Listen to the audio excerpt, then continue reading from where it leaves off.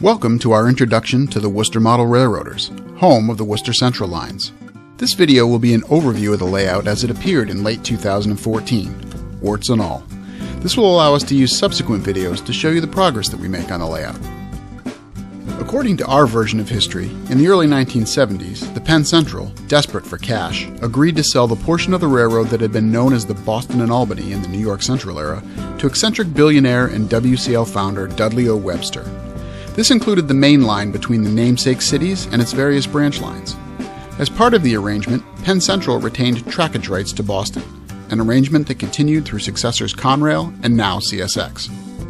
The modeled portion of the layout runs from West Springfield, which on the prototype is the site of a large yard, to Boston, the line terminus. Our layout tour begins in Boston and will work its way west to the staging yard at West Springfield.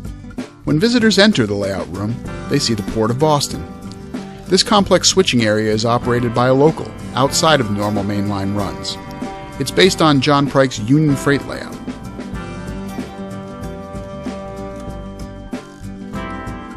This switching puzzle is a favorite job during operating sessions.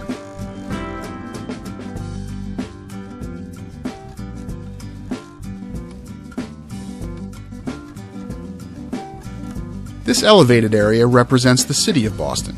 When complete, it will be a congested urban area, conveying the hustle and bustle of the city, complete with skyscrapers, animation, and an operating trolley line.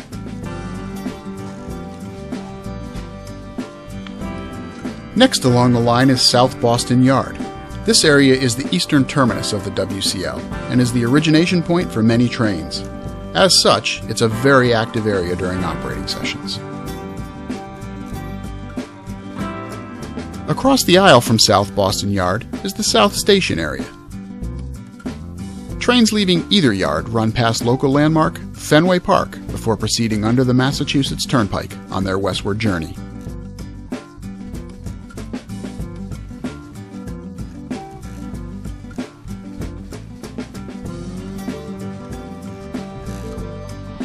The next waypoint on the trek is Framingham, Massachusetts, which was once the home of a large General Motors assembly plant. Although the actual plant has been closed for years in the real world, on the Worcester Central lines, it lives on. Around the bend from Framingham is Westboro, home to the Lyle and Tate corn syrup facility and an auto unloading yard.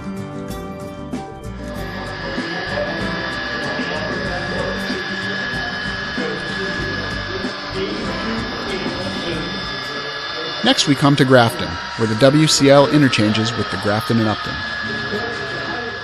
It is also the home of Wyman Gordon and the Grafton Passenger Station.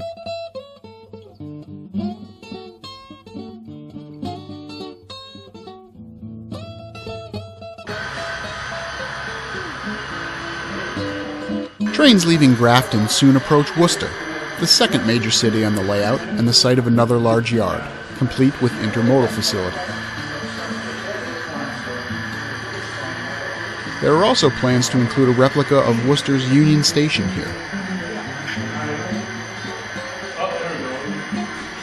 Worcester is one of the locations on the layout where trains can leave the main line to enter the branch line area.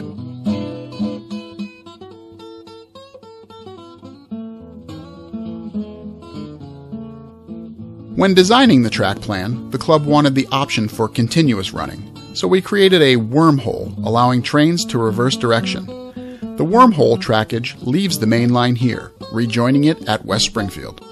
Heading ever further west, we reach Palmer, Massachusetts, which at one time was home to seven railroads. Today, it's the interchange point with the New England Central and Mass Central railroads. It's also home of the Steaming Tender. This popular railfan restaurant was once the Palmer train depot. We have our own scratch built version, as seen here. Leaving Palmer, the next stop is Springfield, and then West Springfield. Trains crossing the Connecticut River do so on a scratch built bridge that came from our previous layout, and in fact has been a scenic highlight on various Worcester Model Railroader layouts over the years, as far back as anyone in the club can remember. West Springfield is the end of the modeled main line. It includes a branch that heads off to Strongwood Flats. Trains can also complete their mainline run and head into the West Springfield staging yard.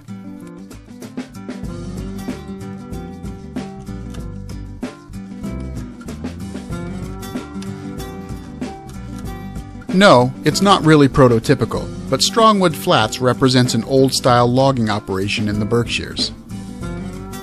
The ability to follow your imagination is one of the beauties of model railroading.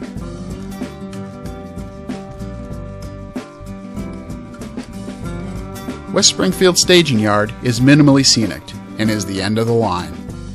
The yard throat is the other location on our layout where trains can access our branch line area. Well, that completes our tour of the main line.